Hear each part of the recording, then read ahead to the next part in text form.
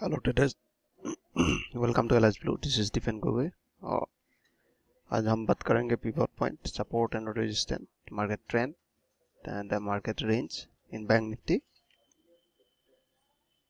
तो आप देख सकते हैं बैंक निफ्टी आज pivot point two five nine one eight first support two five seven nine two and second support five two five six eight one and third support two five five five six and the first resistance 26029 and the second resistance 26154 and the third resistance 26266 तो आप देख सकते हैं ये daily bank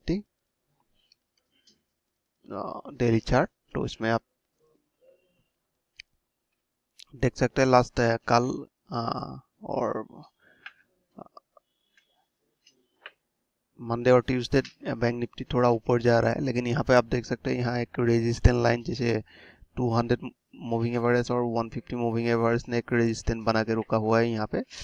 तो मुझे लगता है यहाँ से थोड़ा बहुत आज नीचे आने आने का चांसेस है यहाँ से, कि कल एक बार ट्राई किया था उसको ब्रेकआउट करने के लिए, लेकिन ब्रेकआउट कर नहीं पाया, फिर से थोड़ा मार्केट नीचे आ गया।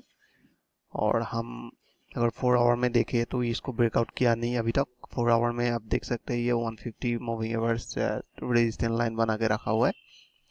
तो अगर बाय जाना है तो उसको पहले जैसे प्रीवियस हाई पॉइंट है, जैसे आप देख सकते हैं यहाँ पे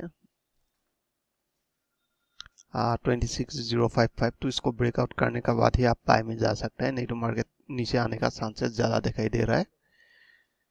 तो और वो वन आवर में आप देख सकते हैं, लेकिन वन आवर में यहाँ पे ज़्यादा से ज़्यादा प्रॉब्लम कहाँ पे होता है? जैसे यहाँ पे आप देख सकते हैं, हमें लगा इसको ब्रेकआउट किया राइट ये जो लाइन है जो हायर प्रीवियस हायर जो resistant line one two three था, उसको ब्रेकआउट कर दिया। अभी मार्केट ऊपर जाएँगे, लेकिन एक ये हॉराइजेंटल क्या होता है? हॉराइजेंटल ये सपोर्ट और रेजिस्टेंट लाइन होता है। अगर अब डायगोनल देखें तो आप देख सकते हैं, अभी भी ये सपोर्टिंग लाइन में है। लेकिन जब आप सपोर्टिंग लाइन निकालेंगे तो कभी भी कभी भी आप पूरा एग्जैक्टली पॉइंट को मत पकड़ लीजिए क्योंकि एक, इसका ऊपर एक बफर जोन रहता है। तो कभी कभी ब्रेकआउट करके निकल जाता है फिर से वापस आ जाता है। जैसे आप यहाँ पे देख सकते हैं मार्केट ये हायर था। हायर कनेक्ट करके यहाँ पे देख सकते हैं मार्केट उसको ब्रेकआउट किया, फिर से मार्केट नीचे आ गया। फिर ऐसे ही ब्रेकआउट करके फिर मार्केट नीचे आ सकता है, क्योंकि अभी मोमेंटम बहुत कम है। आप देख सकते हैं यहाँ पे। तो अगर आप 15 मिनट में देखें तो मार्केट आप देखिए थोड़ा गैप अप में ओपन हुआ, फिर भी प्रीवियस हाई को ब्रेकआउट कर नहीं पाया और मार्केट थोड़ा नीचे आने का चांसेस कर रहा है राइट तो मुझे लगता है आज थोड़ा नीचे आने का चांसेस करेगा, क्योंकि ये 200 का बहुत ऊपर निकल गया तो फिर से इसको पुल बैक कर सकता है।